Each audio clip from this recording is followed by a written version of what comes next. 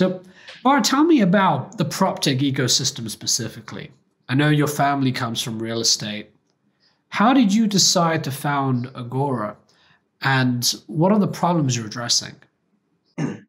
Sure. So, you know, I, I always knew I wanted to be a, to do my own thing, to do a startup. Um, my first thing, you know, I said, okay, let's try to find, uh, you know, search for uh, challenges, pain points, uh, start to think about uh, ideas. I looked at, you know, different kind of spaces. I said, okay, in real estate, I have the most knowledge, connections, expertise. I also saw that the real estate and prop tech, prop tech and fintech um, are going through a tremendous, you know, growth in the next, in the past couple of years. And this growth should be even more exponential in the next few years. So I thought this is a great space to really be in. And so we started to look for problems there. And as you know, like almost every other startup that I know of, we've started with one thing, and then after you know going left and right and up and down, uh, we came to the to the product that we are currently developing. Um, Bar, initial, before, we, Bar, before we, we talk about the actual product, there are, by my count, over 100 prop tech startups in, in Israel, and even more fintech startups. Why? Right. Why is prop tech booming in Israel specifically and fintech? What is it about the Israeli uh, tech ecosystem that is spawning so much innovation in fintech and prop tech? I think you know, being like Israelis in compare compared to other maybe places, uh, Europe, which I've also lived a couple of months in, in the US. In Israel, real estate is a very is really a big thing and you know every people there you, you ask him what, what is what is dream? Every person and he will say to you i want to to own a house. I want to invest in real estate either in israel or the us like the, the real estate specifically is really big thing here. maybe it's also related to the fact that you know uh, 50 60 70 years ago uh, we were all uh, you know like, like, there wasn't israel. Every, people were spreading around different countries with no real root and so I think this is something that is really rooted in our DNA and this real estate thing. And I think that people now in the tech space uh, also identify it and also see that, you know, uh, the real estate is an industry that is lacking for innovate, like lacking of innovation. Uh, and they understand that there are, going to be these, these big opportunities of the future. You can see companies like Compass from Ori Allon, and I think he was one of the first one that really created a you know a big prop tech company, uh, Israeli one, uh, and WeWork, Adam Neumann. So I think this is really something from uh, in our DNA. I can also share with you. Um, this year in 2020, we've participated in an accelerator called the PropTech Zone, which is the first accelerator for Israeli PropTech startup. And as you see, it just started 2020. So you can definitely see this movement, and it's really you know nice to see it. Yeah, and I'm I'm seeing 2021 predictions. Right, as we're we're, we're now in 2021. Um, there are going to be more and more prop tech focused accelerators, and it's it's great to hear there's an Israeli specific prop tech focused accelerator. I mean, just repeat that, right? There's an Israeli specific yeah. prop tech accelerator. That that that that just shows you. Um, that that just that says something itself. The fact that that exists, definitely, right? About what's going to come out to people are realizing there's an opportunity. I think it's really intriguing too as you talk about the history of Israel and, and the people and, and sort of the newness of the country.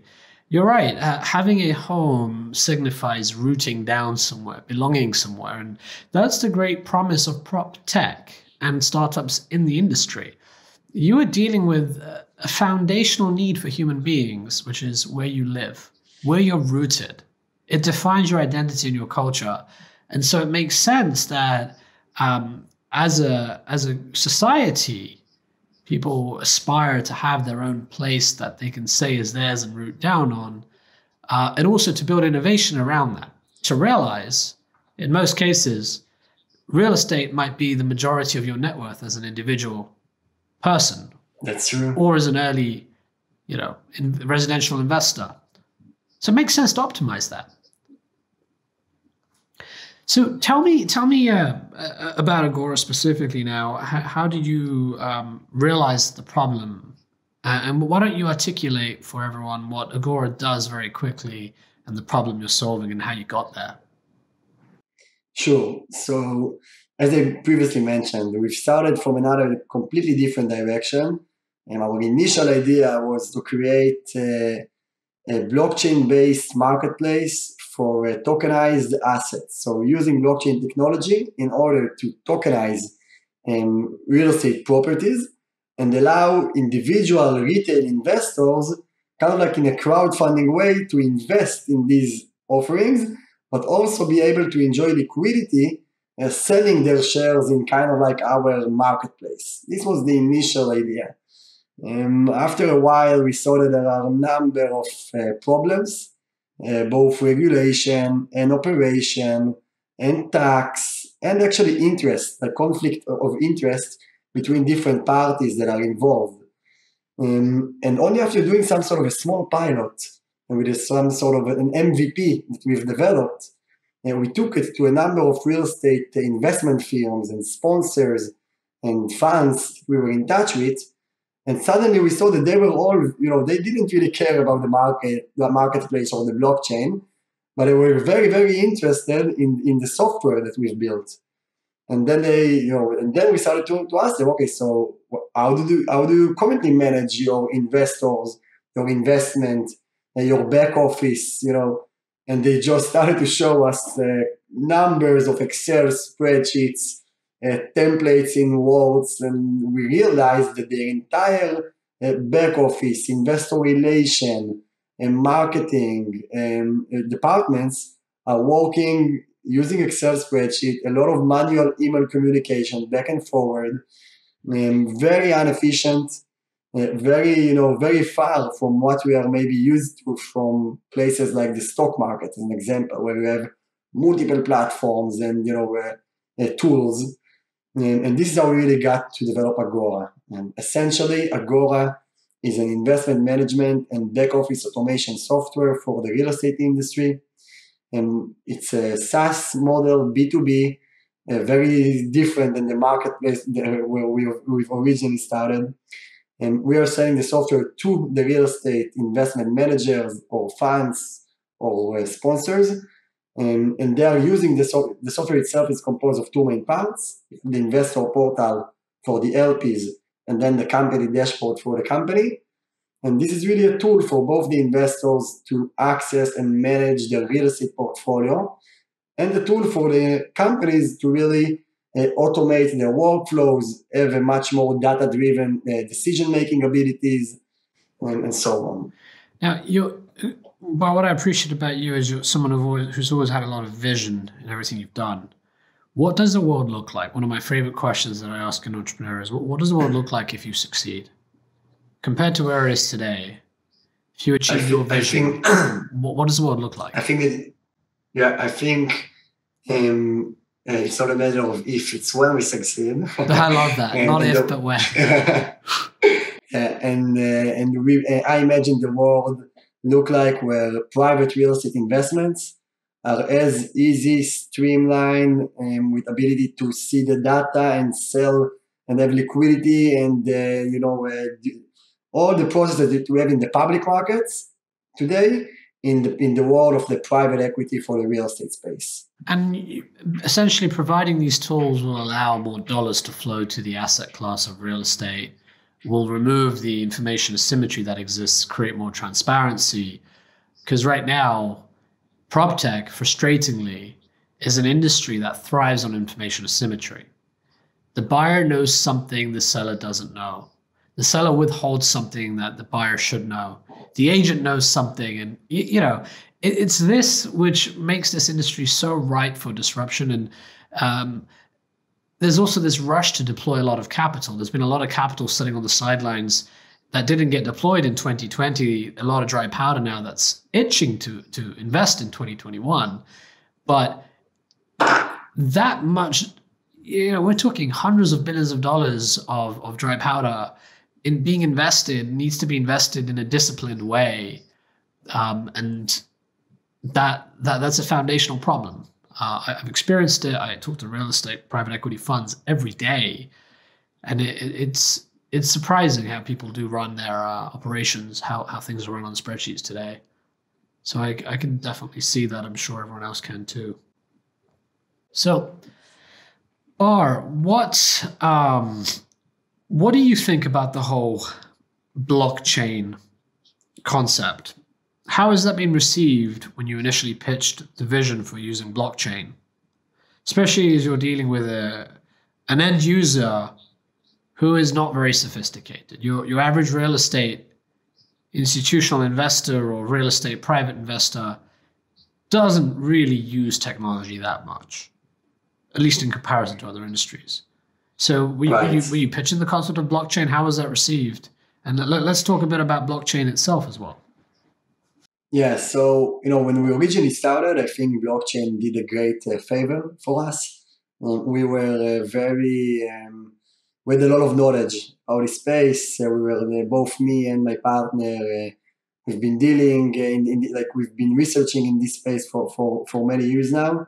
And so being kind of like an expert in a field that it started to add a great momentum, I think this this what really helped us to also raise our first you know fundraising especially as a first time entrepreneur, uh, young, and with not too much of a you know a, a professional background. Um, and afterwards, you know, after a couple of months, you definitely saw like we definitely experienced the different kind of like momentum when when the entire industry shaped and then you, you like using the term blockchain was kind of like a big no-no you just said blockchain the conversation ended up people didn't really care about listening to what you're offering But why? um, why was that? I, I think it's I think it's pretty simple the question the answer. I think uh, too many people have raised too much money uh, using um, I don't maybe stupid ICOs uh, only based on white papers and ideas without any you know execution uh, slash uh, proof of concept. And I think this really created kind of like an atmosphere where every people that is using the, the, you know the idea of this concept blockchain got mixed up with bitcoin got mixed up with cryptocurrencies got mixed up with all these different you know bubble uh, that we had yeah, it's a lack of understanding of what, what this exactly means, not unpacking this major trend. Yeah. What, what blockchain offers as a value proposition is completely different to what crypto or even Bitcoin offers as an investment asset, which is what I would say. You know, Bitcoin really exactly. offers today is a, it's an investment asset primarily, and that's what drives its uh, price, whereas using blockchain is a foundational uh, disruptive technology. Now, who, who, who was shutting you down? Was it investors or was it customers or was it both when you were? When everyone. You it was everyone. It was, it was, insane. Everyone, investors, customers, everyone, everyone. And we were one of the first companies in Israel back in the days to do uh, what's called back then it called an STO, security token offering, and we took an hotel in uh, Eastern Europe, uh, owned owned by my father company and managed by Radisson uh, Park Inn. And we've uh, created some sort of a small loan, and we tokenized this loan.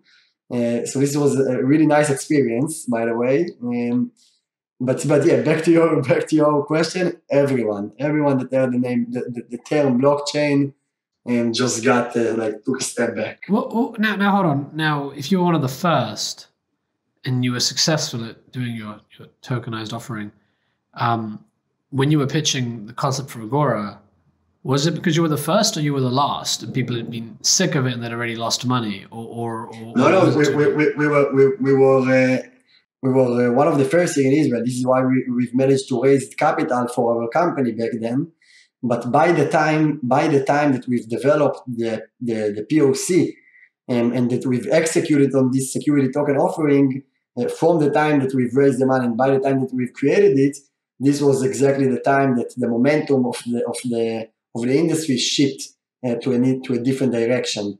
And also, we've also during this time we've also realized that using blockchain, unfortunately, uh, didn't really solve the issues that we had to deal with and because you know blockchain as a technology is amazing and I, i'm a big believer in the future of it.